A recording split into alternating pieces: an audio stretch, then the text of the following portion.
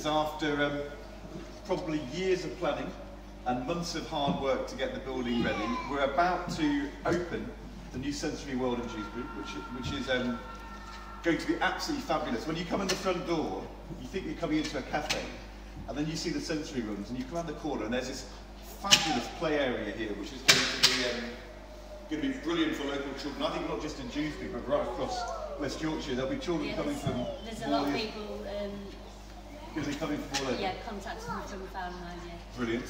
The, um, the thing which everybody says about um, being a parent with um, a disabled child, that it's often really complicated trying to, um, to navigate your way through with all of the different consultants and specialists you have to talk to. And the, the best support network comes from other parents and being able to chat with other parents and share experiences and have a place to go. But it's not always easy to do that because you don't always have dedicated facilities. I've never ever heard of a specialist cafe which is there so parents can come and meet and chat, but where it's all set up so that all children, including and especially children with disabilities, get the support they need. And um, so I think this may be a first. I've never seen this anywhere. So I think this is probably a first, not just in Dewsbury or West Yorkshire, but certainly in Britain. It's a UK-wide first, which Linda has um, come up with. And it's going to make a massive difference to um, parents and children uh, in Dewsbury and in Yorkshire and far and wide. And um, it's all your hard work. I hope so.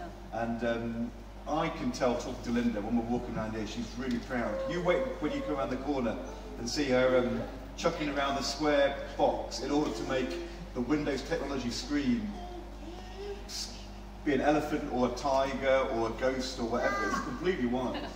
But it's going to be brilliant.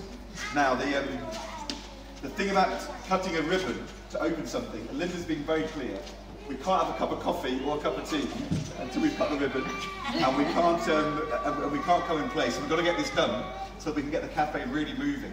But the, the absolute key thing with a ribbon is once you've cut it, it's cut.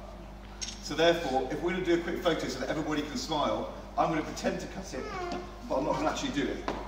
Just for a second. So can everybody look at the camera and smile?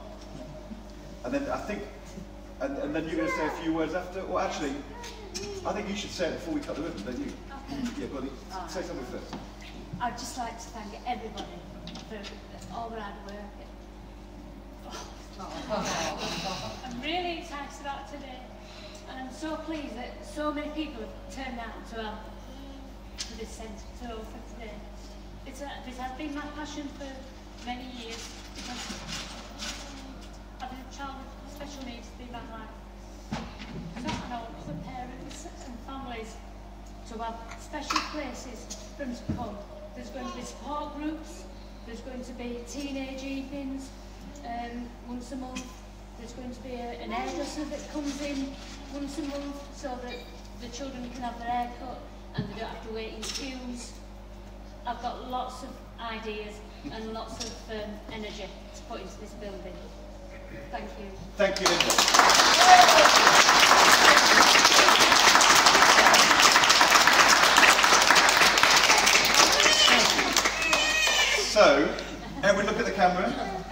Especially the little one.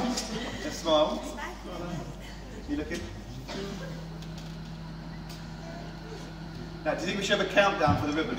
Yeah. Right. 500. 499. No, no, that's probably too much. Ready? Are you ready to count down?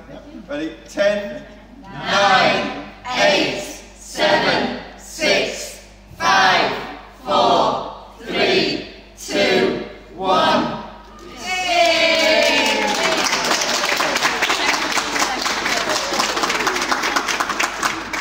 Have a look at this place. It's amazing. There's so much